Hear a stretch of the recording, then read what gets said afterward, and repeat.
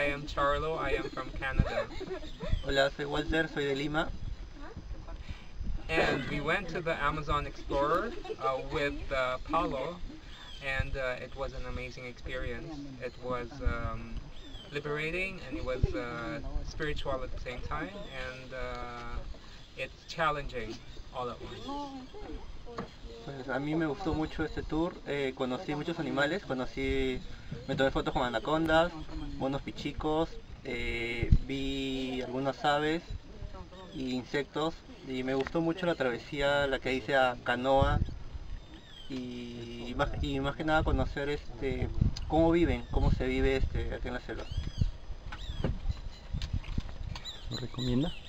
Y recomiendo que vengan este al tour y que y que se internen en la selva que es muy muy divertido y es una experiencia diferente. Ya.